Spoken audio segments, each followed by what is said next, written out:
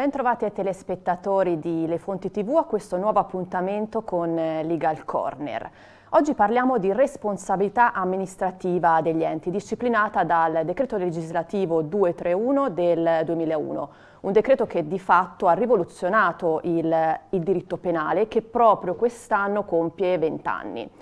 Nella puntata di oggi faremo un po' il punto sugli sviluppi di, eh, di questa responsabilità degli enti e sulle modalità di prevenzione dei reati che eh, sono ad essa connessi. Per farlo ho il piacere di avere in collegamento con me l'avvocato Fabrizio Sardella, fondatore e name partner dello studio legale Sardella.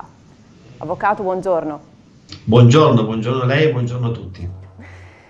Allora, avvocato, abbiamo detto quindi 20 anni di eh, decreto legislativo 231. Ad oggi, quindi, quali sono i risultati applicativi di questa norma e eh, secondo lei mh, sono necessari degli interventi, quindi anche di adeguamento? Guardi, sono molto contento di poterne parlare con lei e con i suoi telespettatori perché è un argomento molto interessante ed è un traguardo importantissimo per questo decreto legislativo che, come giustamente ricordava, ha segnato una rivoluzione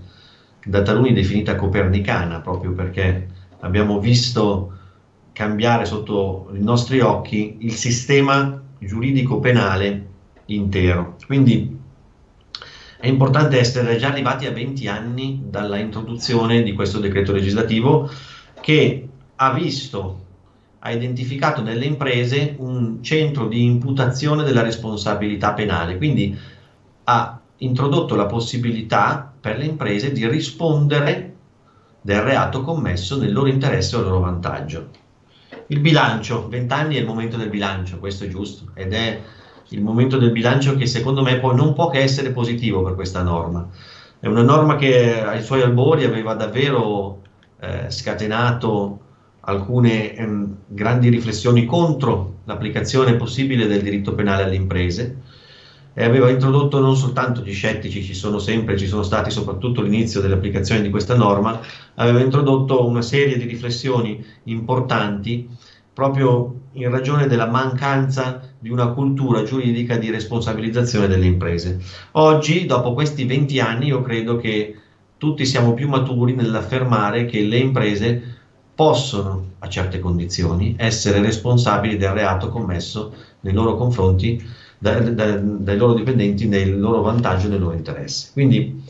abbiamo introdotto questo argomento molto importante della responsabilità degli enti, il legislatore ha avuto una lungimiranza incredibile, ma non soltanto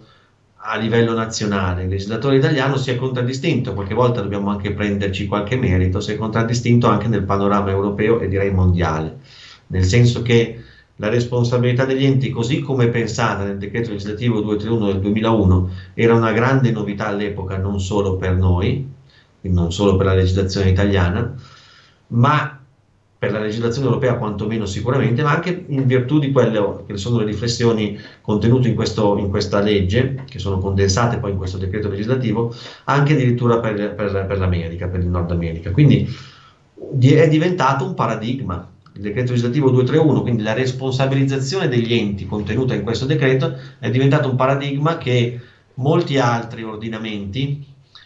penso per esempio a quello inglese con il Bribery Act o a quello spagnolo con la lei organica, nel corso degli anni successivi, quindi negli anni 10, 2009, 2010, 2012, 2015,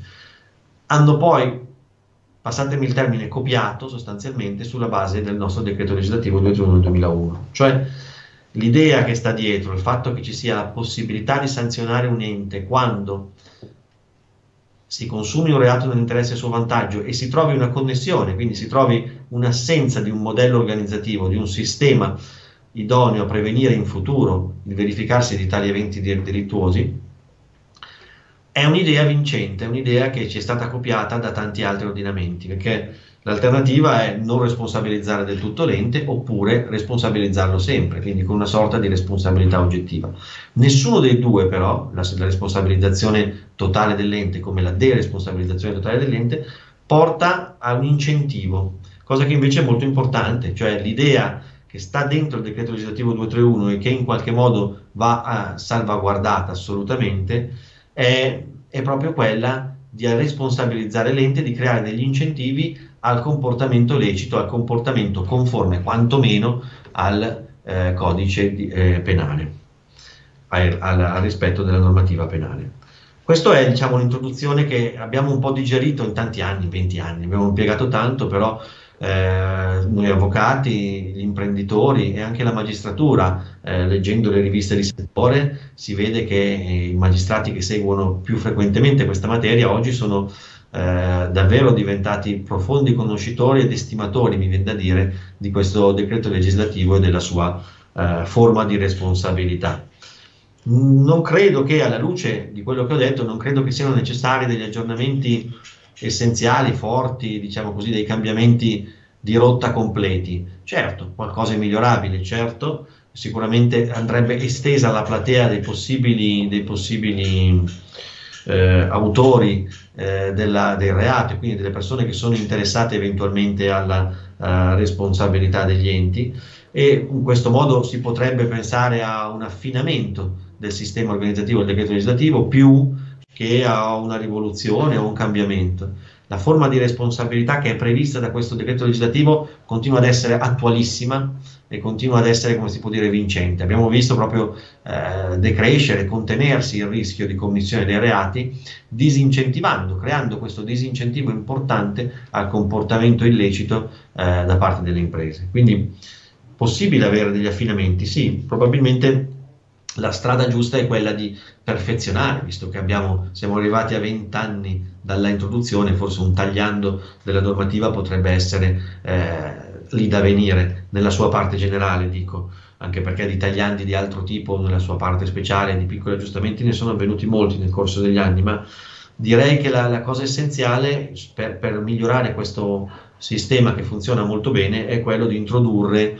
un meccanismo certo della valutazione del modello organizzativo, quindi eh, cercare di eh, modificare o di eh, imbrigliare un po' di più la possibilità della magistratura di interpretare il modello organizzativo secondo eh, alcuni elementi essenziali, quindi secondo alcune linee guida.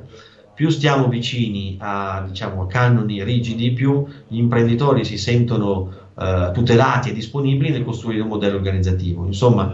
il concetto che voglio passare è che se dal punto di vista legislativo ci fosse la possibilità, l'attenzione, la, eh, come si può dire, eh, la volontà di estendere a una platea maggiore possibile l'introduzione dei modelli organizzativi, dovrebbe parimenti dire quali sono i parametri che il giudice andrà a valutare il legislatore dovrebbe dire quali sono i parametri che il giudice andrà a valutare nel caso in cui si verificasse un reato. In questo modo l'imprenditore sa, saprebbe come meglio muoversi all'interno di questi per poter organizzare la propria attività di impresa. Anche il meccanismo, diciamo così, pensato ad oggi sulla creazione di linee guida delle, eh, delle associazioni di categoria, penso a quelle di Confindustria in primis, è un meccanismo ottimo, funziona bene, dovrebbe essere forse più veloce l'adeguamento di queste linee guida in modo da poter individuare subito, a pochi mesi diciamo così dall'uscita de, delle nuove norme, eh, che, dei nuovi reati nel, eh, per i quali l'ente può rispondere, individuare subito, dicevo, eh, procedure, i protocolli che vengono ritenuti migliori per eh, prevenire questi reati. Ecco, quindi eh, come diceva lei, una svolta epocale, 20 anni diciamo intensi insomma, mm, per eh, un po' anche digerire all'inizio questo, questo decreto. In questi 20 anni anche i reati presupposti alla responsabilità si sono moltiplicati, sono diventati numerosissimi. Da ultimi ehm, ricordiamo proprio i reati tributari insomma, introdotti eh, di recente. Ehm, cosa stanno facendo quindi le aziende per prevenire questo tipo di reato? È, è vero, nel corso di questi 20 anni sono stati sfruttati dal, dal legislatore per eh, introdurre tutta una serie di nuovi reati all'interno del decreto legislativo 231 del 2001, una scelta voluta, voluta e richiamata eh, fin diciamo così dalla legge delega del, eh, del 2000 eh, riguardo proprio l'introduzione della responsabilità degli enti nell'ordinamento italiano. Hanno voluto introdurre un sistema in maniera graduale, quindi si è partito da uno schema generale su come è costruita la responsabilità degli enti, a cui ho già diciamo, steso le lodi rispondendo alla domanda precedente, e poi piano piano sono stati introdotti una serie numerosa, numerosa di reati che sono in qualche modo diventati importanti e, di, e sono stati percepiti come maggiormente importanti nel corso, nel corso, degli anni. Quindi in questi 20 anni abbiamo assistito alla uh, crescita uh, tal, talune volte in maniera anche criticabile, inserendo alcuni reati di difficile applicazione pratica per le imprese, abbiamo visto però la crescita dei reati, del numero dei reati per i quali risponde eh, eventualmente la società quando eh, vengono commessi nel suo interesse e nel suo vantaggio. Eh, abbiamo visto soprattutto diciamo, il punto di svolta sicuramente è stato nel 2007-2008 con l'introduzione del novero dei reati presupposti a responsabilità dell'ente dei reati colposi commessi con violazione della norma antinfortunistica. Contestuale peraltro al cambiamento della vecchia legge 626, oggi diventato testo unico sicurezza, decreto legislativo 81 per l'appunto 2008 con l'introduzione di quel decreto legislativo nella responsabilità degli enti c'è stato un ulteriore cambio di passo nell'applicazione dei modelli organizzativi, nell'estensione della platea delle imprese interessate e anche, diciamo così, nel lavoro giurisprudenziale che ci sta dietro sull'accertamento dei modelli organizzativi e della loro bontà a prevenire realmente reati. Quindi quel punto di svolta, l'introduzione di reati colposi nella responsabilità degli enti, ha determinato la crescita del numero di imprese potenzialmente interessate e contestualmente anche diciamo così, dato il via a una serie di nuovo fermento sulla creazione dei modelli organizzativi. Ecco, siamo arrivati nel 2020 tardo 2019 con la legge 157, il decreto fiscale e poi con, la direttiva, con il recepimento della direttiva PIF nel luglio scorso, abbiamo, diciamo, siamo, siamo, arrivati ad un nuovo momento di cesura, come diceva lei, una cesura importante perché eh, il numero dei reati eh, cresce, ma quant- qualitativamente cresce quando vengono introdotti dei reati che hanno una grande applicazione pratica giurisprudenziale e che hanno un impatto sostanzialmente su tutte le imprese nel 2008 abbiamo avuto la sicurezza, nel 2020 abbiamo avuto i reati tributari. L'introduzione di quelli ci si aspetta, mi aspetto, che possa in qualche modo eh, determinare un nuovo eh, riavvio, un nuovo interesse, un rinnovato interesse per i modelli organizzativi, soprattutto per come costruire questi modelli organizzativi, perché i reati tributari erano rimasti un po' alla finestra ed era l'ultima grande area di reati che non era compresa nella responsabilità degli enti, seppure direi in maniera evidente, senza dover essere studiosi della materia né di economia, ci pare chiaro a tutti che il momento essenziale, uno degli elementi essenziali a cui l'ente può mirare per massimizzare il suo profitto è il risparmio fiscale, ahimè anche illecito. Quindi quando quel risparmio diventa illecito, da oggi, diciamo da, da, da luglio del 2020, risponde anche la società per, eh, per il reato tributario. Come vengono prevenuti? Questa è una domanda interessante ed è forse diciamo, il, uno dei cuori di questo problema. Possono essere prevenuti, le imprese si stanno muovendo di nuovo un po' alla cieca in virtù di quello che dicevamo prima, nel senso che non ci sono state eh, linee guida chiare, non sono ancora intervenute linee guida chiare su come prevenire correttamente questi reati. Le imprese si stanno muovendo, stanno cercando di adeguare i propri modelli, chi già ce l'ha, e di crearne uno nuovo, chi invece non ce l'ha, proprio in ragione di prevenzione di questi reati, facendo un'autovalutazione del rischio, coinvolgendo il loro supporto contabile, interno o esterno che sia, il commercialista di riferimento o l'organo di controllo che su questo ha sempre avuto un grande impatto, cioè il collegio sindacale. Quindi è una valutazione del rischio a tante mani, ci sono le mani del consulente che aiuta nella, nella, realizzazione di questo, c'è l'autovalutazione interna e c'è il collegio sindacale che supporta molto le imprese in questa nuova valutazione del rischio. Finito diciamo così, il lavoro di valutazione del rischio, quello che la società intende fare eh, oggi è so- solitamente basarsi sulle risultanze di questo, eh, questa valutazione. Se siamo più una, una situazione di rischio basso, non abbiamo quindi una storia di criminalità fiscale, abbiamo un controllo, abbiamo lacci e lacciuoli, come si suoleva dire, molto importanti dal punto di vista del eh, contenimento del rischio fiscale, allora si valorizzano quelli. Quindi si passa, diciamo così, in rassegna eh, l'area dei reati societari, che era già prevista da lungo tempo come, come potenzialmente foriera di responsabilità penale degli enti eh, e in seguito diciamo, si prendono, si mutuano le stesse procedure per la prevenzione dei reati fiscali. È, un, un atteggiamento possibile, a mio giudizio condivisibile, almeno così prima facile, primo acchito, perché è importante ricordare che il reato tributario, il reato fiscale nasce solitamente da una errata o volutamente errata, quindi da una dolosa eh, falsificazione del documento civilistico, quindi del bilancio. Nel bilancio si riportano delle poste non vere, per esempio una fattura per operazione inesistente, e transita automaticamente nel dichiarativo fiscale e si ha quindi risparmio fiscale, che è un po' una conseguenza del falso in bilancio, della, della posizione nel bilancio della fattura per operazione inesistente. Quindi prevenendo a monte quel comportamento si previene a valle l'illecito risparmio fiscale. Altrimenti, se il rischio risultasse molto elevato, c'è la possibilità e qui la dottrina, anche i pubblici ministeri che scrivono sulle riviste di settore, caldeggiano questo, di mutuare eh, le modalità preventive dal cosiddetto Tax Control Framework, che è previsto nel nostro ordinamento per le imprese di grandi, direi grandissime dimensioni,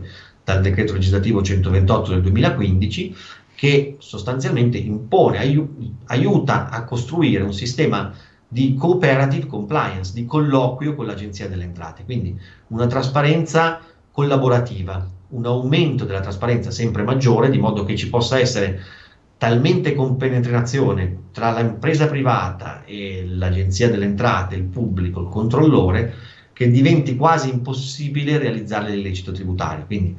usare degli schemi quando non sia possibile raggiungere la cooperative compliance, perché è prevista per legge solo per alcune aziende, come dicevo quelle più grandi, per quelle più piccole che si sentono, si misurano a forte rischio tributario, mutuare quei presidi previsti dal decreto legislativo 128-2015 potrebbe essere uno strumento utile per aumentare l'efficacia del modello organizzativo.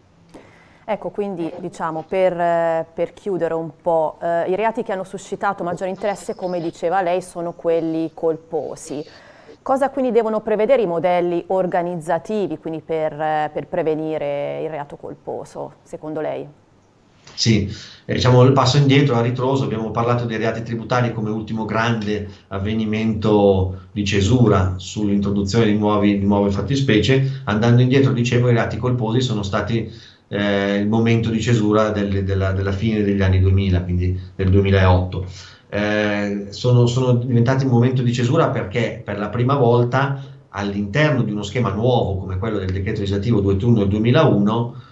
Uh, si è introdotto anche la possibilità per l'impresa di rispondere di reati commessi contro la volontà di chi, di chi, li ha posti in essere, perché il colposo è così, cioè prevede l'assenza di dolo, prevede l'assenza di volontà.